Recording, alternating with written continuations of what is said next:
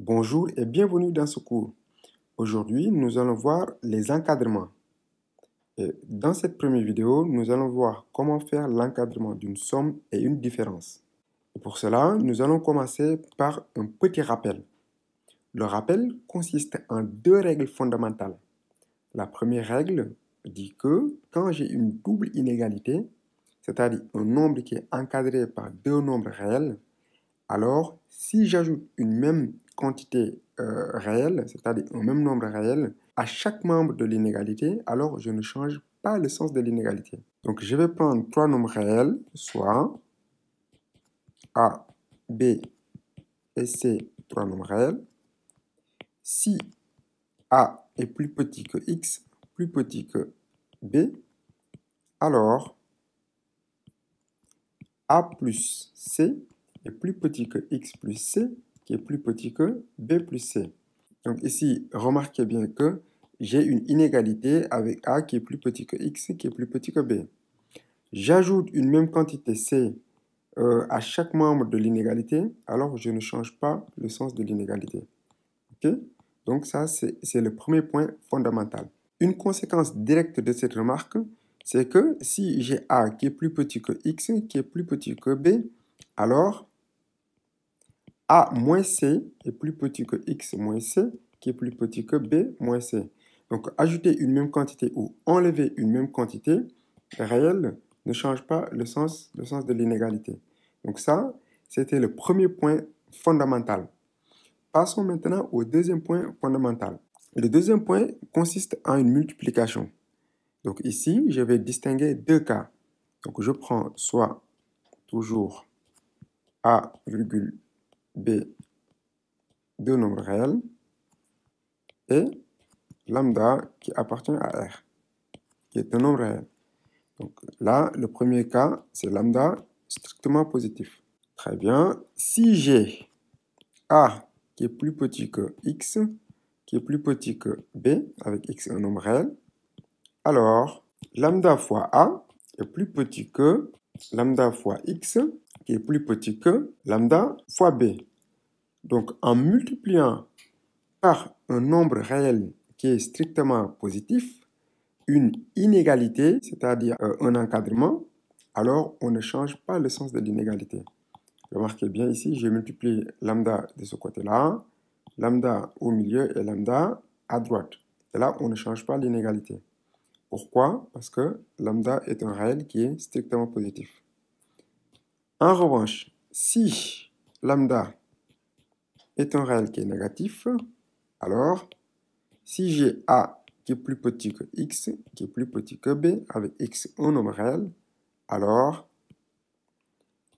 lambda fois B est plus petit que lambda fois X, qui est plus petit que lambda fois A. Et ici, vous remarquez bien que le sens de l'inégalité a changé. OK? B qui était à droite est devenu ici à gauche. Pourquoi? Parce que j'ai multiplié par lambda qui est un réel qui est, strictement négatif. Donc en multipliant par un réel qui est strictement négatif, on change le sens de l'inégalité. Donc remarquez aussi euh, que quand je multiplie par un réel qui est strictement positif ou que je divise par un réel qui est strictement positif, je ne change pas aussi l'inégalité.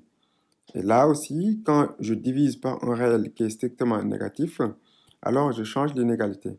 Multiplier par un nombre réel ou diviser par un nombre réel euh, suivent les mêmes règles quand j'ai un encadrement. Maintenant, regardons comment on fait l'encadrement d'une somme. C'est-à-dire que quand j'ai x qui est compris entre deux nombres réels a et b, et que j'ai y qui est compris entre deux nombres réels c et d, comment je peux faire l'encadrement de la somme x plus y. prenons quatre nombres réels, soit a, b, c, d, qui appartiennent à R. Et je prends deux nombres réels x, y qui appartiennent à R, tels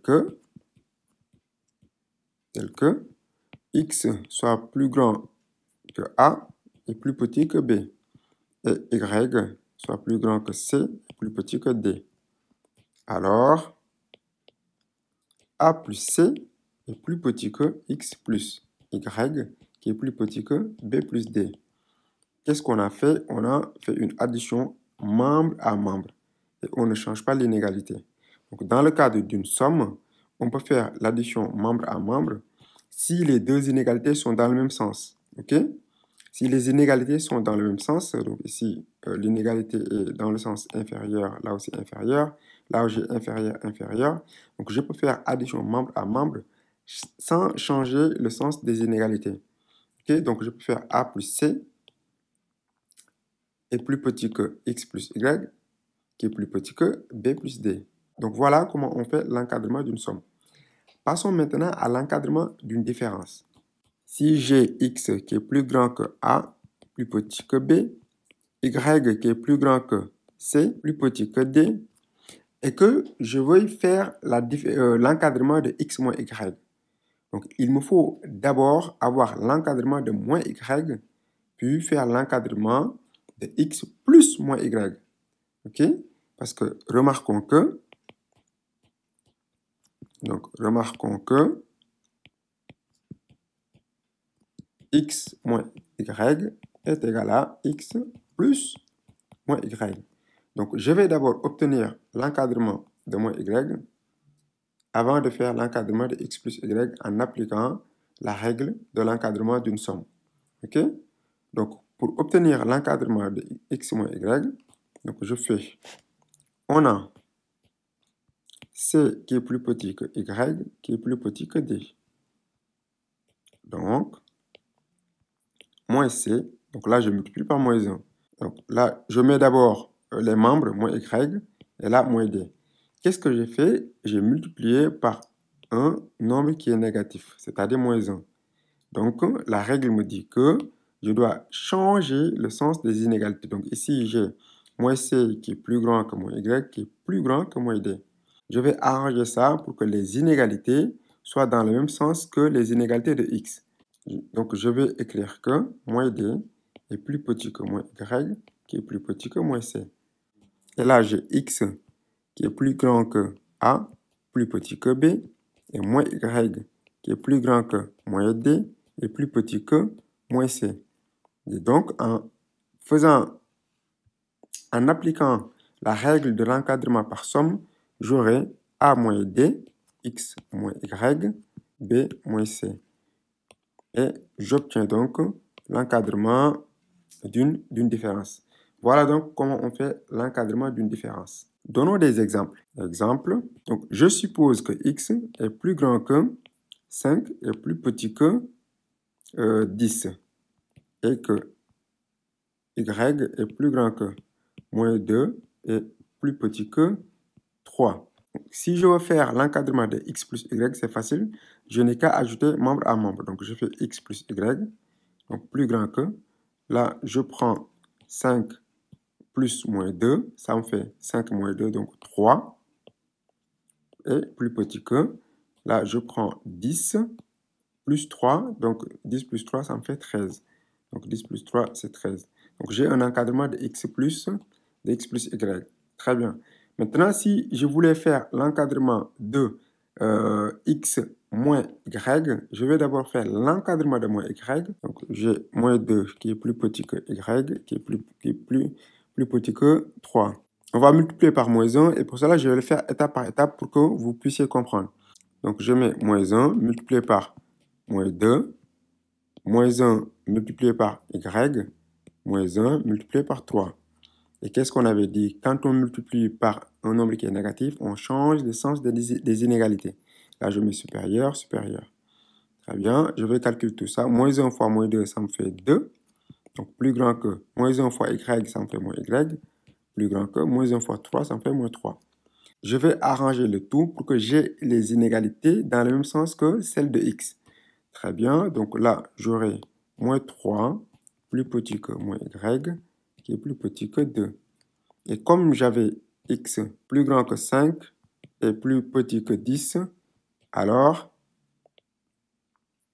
alors, là, je peux faire une addition membre à membre. 5 moins 3, ça me fait 2, plus petit que x moins y, qui est plus petit que 10 plus 2, ça me fait, 12.